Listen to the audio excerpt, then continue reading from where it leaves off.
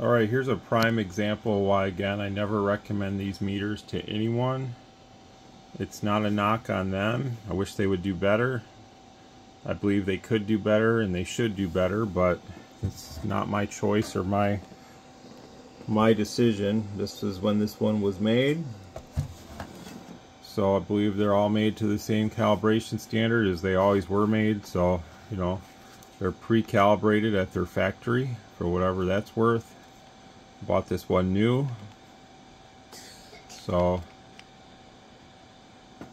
there's our dead key 30 30 very close to 30 there.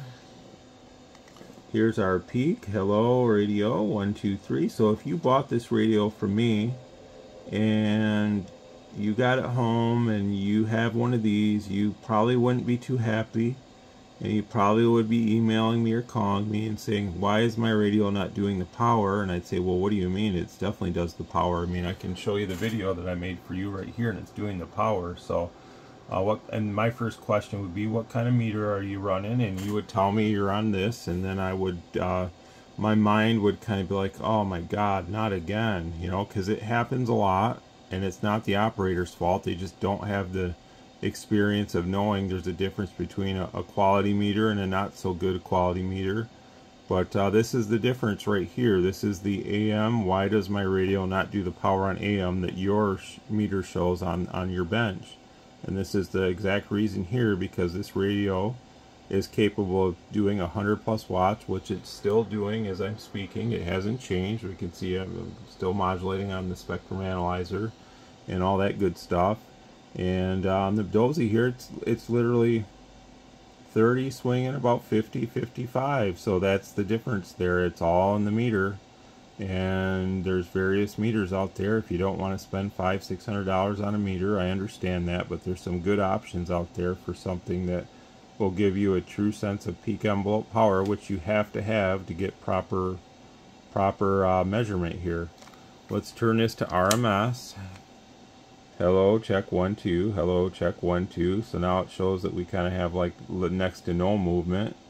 Hello one two. Actually it shows it backwards which isn't accurate either because if we come over here to this meter that reads RMS in this scale hello radio. Check check. One two one two. We can see we're going up to 48 to 50 at times. This takes multiple measurements per second. One two three. One two three. So it is what it is, guys. You you have what you have at your shack or in your truck or in your mobile.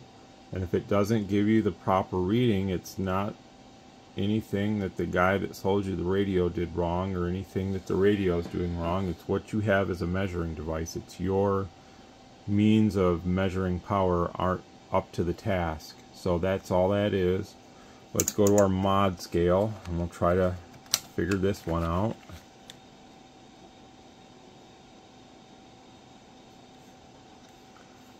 Most likely isn't going to do us any favor either. Yeah, see one, two, three, one, two, three. Hello. Again, you'd have the scale here. Well, you said I had 100% mod. Well, I'm only showing 50% on my Dosy. And most likely at that point, if you don't agree with what I'm telling you, that your meter and your equipment is not for the task, you're probably going to go in and you're going to crank open the AMC until you get 100% or more on your meter.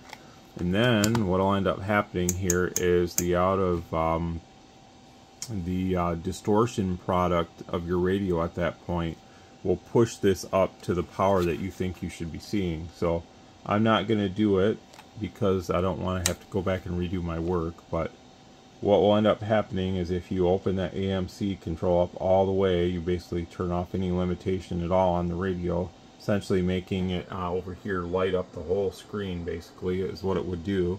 And then on this meter you would probably see over 100 watts. So that's the difference there between when you align a, a good quality AM radio for proper way but you have a poor quality meter this is the reason why you're not going to see the power that I see here.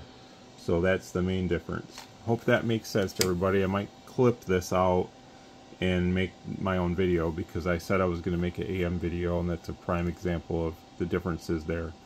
Thanks a lot for the for the order. We'll get this one ready to head your way. 73.